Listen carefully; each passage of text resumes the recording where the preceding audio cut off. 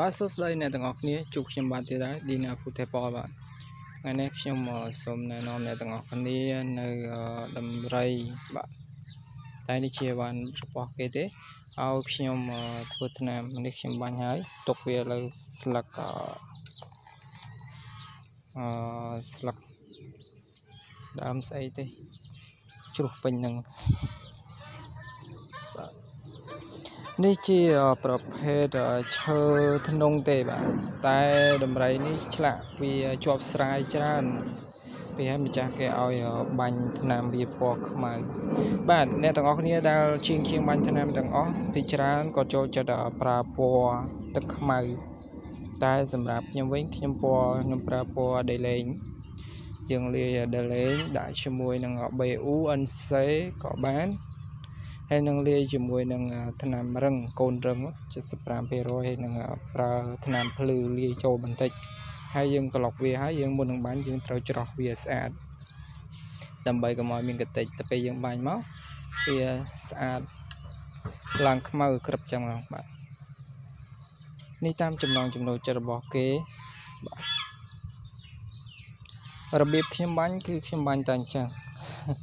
ប៉ុណ្ណឹងជាបងប្អូនមួយចំនួន ជាងមួយចំនួនគាត់ចូលចិត្តបាញ់ខាងប្រភេទប្រើថ្នាំពណ៌ខ្មៅហើយស្រាប់តែម្ដងបាទតែខ្ញុំប្រើពណ៌ខ្មៅនេះបែបខ្មៅដែលលេងទេបាទខ្មៅដែលលេងខ្មៅភ្លឺ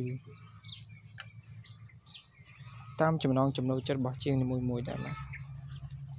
ហើយដំរីនេះ គឺដំរីប្រភេទឈើធ្នង់ទេបាទនេះពកវាពីមុននេះ ទៅពេលលើបាញ់ជាខ្មៅអស់លេងគេហៅខ្មៅលើបខ្មៅឡាលងស្រោចមកបាទជាមួយនឹងតាកប៉ោងនេះក៏ដូចគ្នាចឹងដែរបាទនៅមុខលោកតាចិត្តចូលឆ្នាំចិនណាបាទតាកប៉ោងនេះក៏ដូចគ្នាចឹងដែរបាទ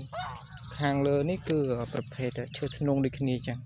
ហើយខាងក្រោមនេះជាឈើតសេកបាទទៅនរវាវាជាប់សាស្រាយតែម្ដង ស្រាយស្រាយស្រាយច្រើនមែនមែនតើក្លឹមមានតិចតែប៉ុណ្ណោះបាទអញ្ចឹងហើយបានម្ចាស់គេឲ្យបាញ់វាទៅជាប្រភេទ